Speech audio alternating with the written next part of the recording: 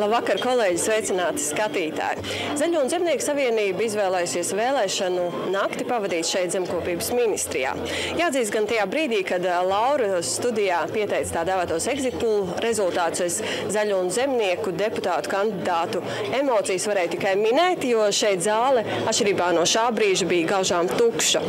Bet tāpēc, lai man nebūtu jāmin šīs emocijas, man līdzās ir Zaļo un Zemnieku savienības viens no līderiem, Augusts Brigmans. Labvakar! Jā, labvakar! Kurā brīdī, kad jūs uzzinājāt šos exitpulu rezultātus, kādas bija tās jūsu personīgās pirmās emocijas? Es domāju, ka pirmie vārdi, kas šajā intervijā skanēs no manis uh, mutes, ir paldies jums.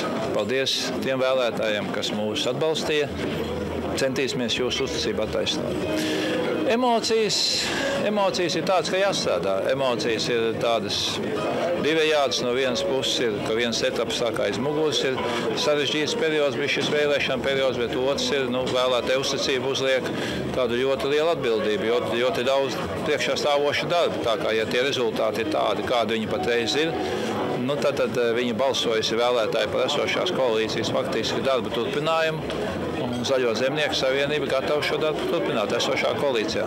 Un, tieši man bija šis jautājums par koalīciju. Kā jūs redzat, vai saglabāsies pašreizējās koalīcijas sastāvs, vai ir iespējams kaut kādas izmaiņas? Vai jūs jau esat runājis ar kādiem konkrētiem politiķiem no citām partijām? Nu, speciāli mēs runājuši neesam, jo paskatīsimies, kāda būs šie gala rezultāti. Jo patreiz jau tomēr nu, tas kodols ir, mēs redzam, ka mēs zaļie zemnieki, vienotība, nacionāla apvienība un, manuprāt, tiem, šiem partijām šī darbs jāveido tālāk un ar valdību jāveido. Tas ir tas, ko vēlētājs ar faktiski gaida no mums, lai būtu stabilitāte valstī, politiskā kursa nemainība, vērtības, rietumu vērtības to mēs tad garantēsim.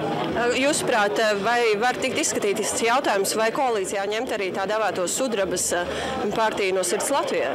Nu, redziet, te ir jautājums, protams, tāds, kāda ir šis tomēr tas deputātu mandāts skaits, kāds būs šīm trim partijām. Ir viena ļoti būtiska lieta, kas faktiski ik pa brīdiem parādās saimā, kuras ilgstoši strādā, tas ir konstitucionālais vairākums.